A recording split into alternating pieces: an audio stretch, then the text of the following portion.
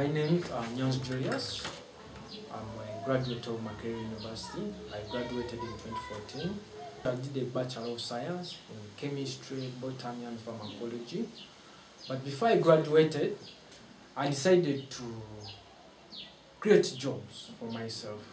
Uh, I, I, I said jobs because research gives you a lot of ideas. And those ideas, you cannot push one idea.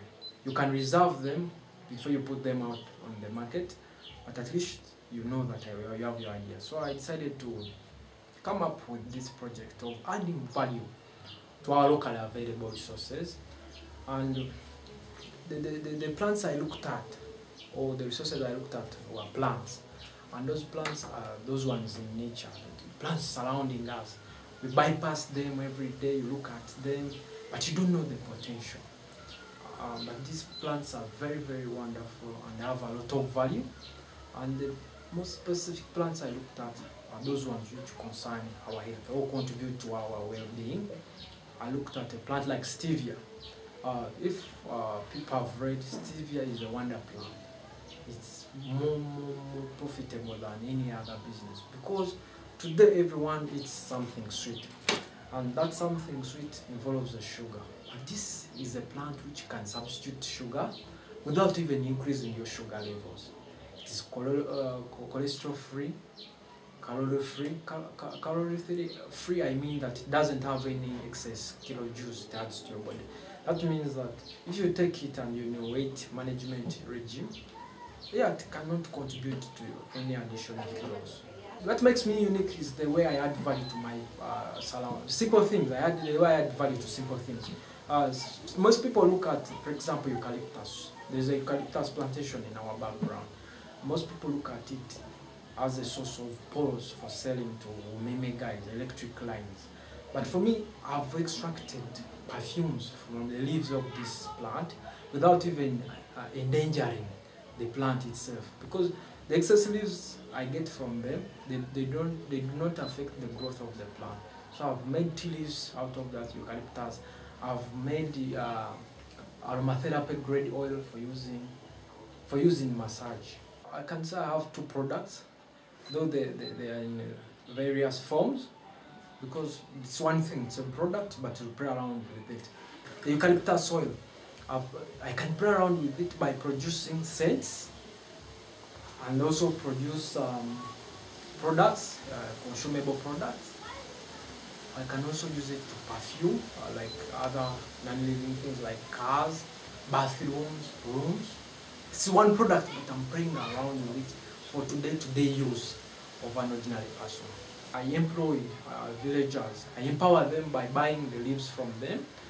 And also I set up gardens for myself to ensure sustainability of, the, of my project. So I buy from the, uh, the people, the, the farmers, and I also set up farms for myself. My future plan is to see that Africa is socially empowered uh, by using its own resources. We have uh, a vast number of resources, but we have not added value to them.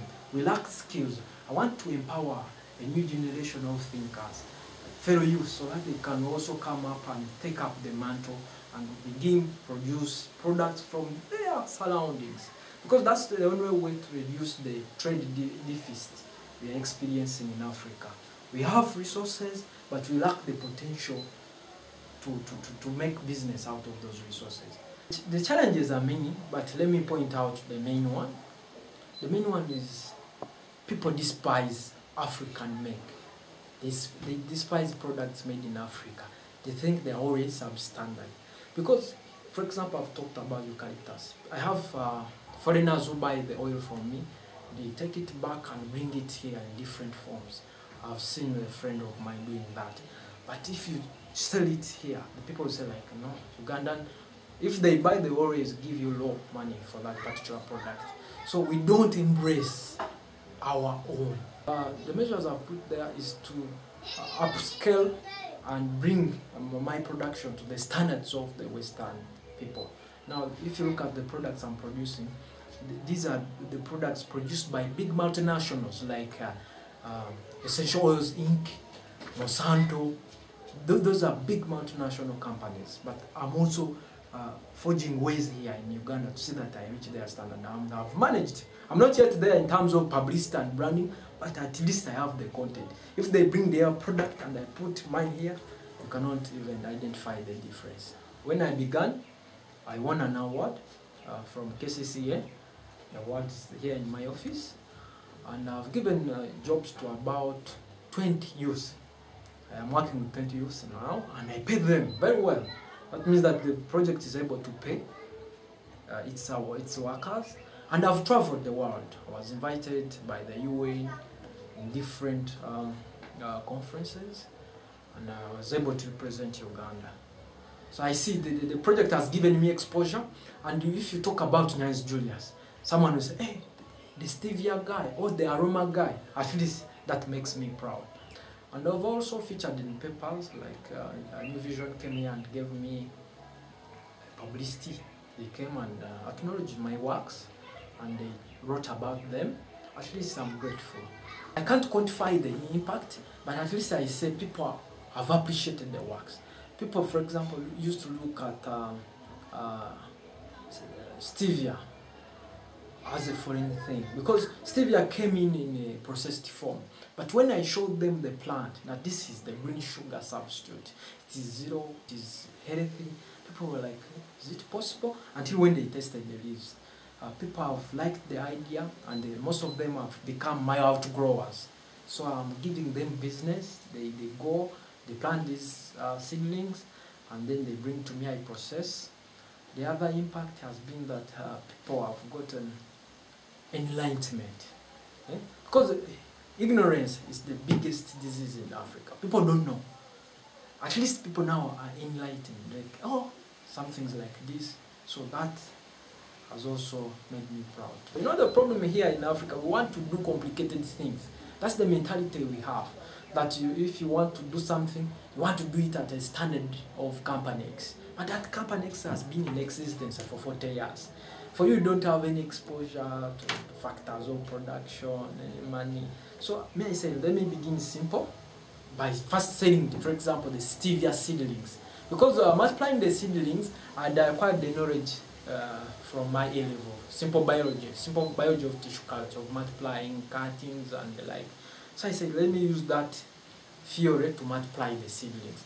From there, I sold the seedlings to people. Then I got money. From the money, I, I, I, leased out land, and also my grandfather provided me with a piece of land. So I kept on uh, scaling up my production. As I sell seedlings, I, I also set up my farm. Before I knew it, I started processing the powder, the, the leaves into powder. And uh, I didn't look at grinding for starters. I borrowed uh, a mortar and pestle from my mother, the chino, the local, the, the, the local chino. Started making powder. I went to Mulago. I talked to doctors like this. Here, look, we have a product here. It's natural. Here, it's this seedling where it comes from. But diabetic people need it. And the doctors were mm, understanding. They pushed me. I started selling the, the, the, the, the product to the diabetic people, and those diabetic people would communicate to other people. Then I got business. Then I began uh, mushroom growing because mushroom growing needed reagents, uh, reagents like uh, culture reagents. Where, where these, are kind of technical, but those are reagents used to multiply the mushrooms. So I was able to afford because I was I had gotten some money and I had saved. Then I began also making mushroom seeds, uh, teach farmers, train them how to go about the whole idea. But the challenge I experienced with the mushroom project, Ugandans still have this mentality there. Local mushrooms in the wild. Mushrooms are very important. They have many nutrition. I've written about mushroom nutrition and medicinal properties. But I needed a concerted effort, like a combined effort from all stakeholders to push it forward. So when you come up with a project, uh, you have to come up full swing. Don't do it in bits because given the fact that mushrooms have a short lifespan, uh, they get spoiled very quickly. I had to innovate ways of adding value to them. So I, I, dropped, I developed a dryer system. Then I began making simple dryers for my farmers, a few farmers I had trained. Some of them are now drying using those simple dryers. Oh, I'm very young because I, I have this philosophy, all this thinking that great ideas are always driven by, or are always uh, pushed by young people.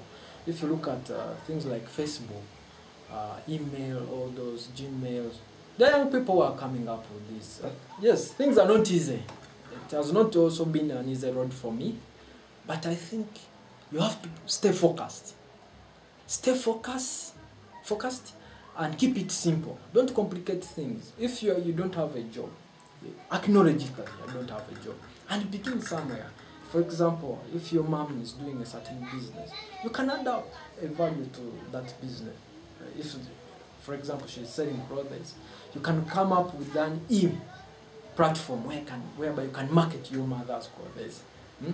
Before you know it, customers come in and your mom can give you a bonus.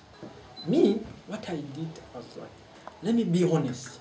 Because when you're honest, the, the, the elders will always trust you.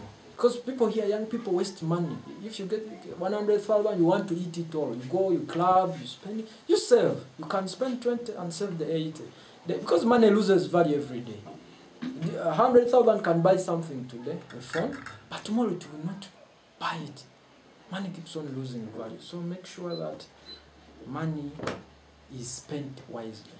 I began my campaign in 2013 uh, Uh, while I was still at university because I graduated in 2014. But I said, okay, let me also come up with a, a community-based organization, a form of NGO, to, to empower people who don't have the resources or the abilities. So I began with them by making them grow my plants. They plant them, and I get them from them through that mutual understanding, community empowerment. Then I process it and I sell them to foreigners here because they like natural things a lot. I sell at the American Embassy, I have an outlet there. International schools, I sell all my products there. And also I opened up I opened up a shop in town at Kotorio Mall, shop 152.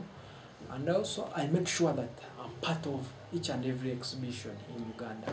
This type of business I'm doing is I could I can say it is a bio business. It's a bioscience business. In that um, nature keeps on changing, uh, reagents keep on changing. I can't say the exact amount that I need this, but at least I have a range that um, 20,000 US dollars, I can use them in the market. I market this so that the whole of the Africans know about this particular business.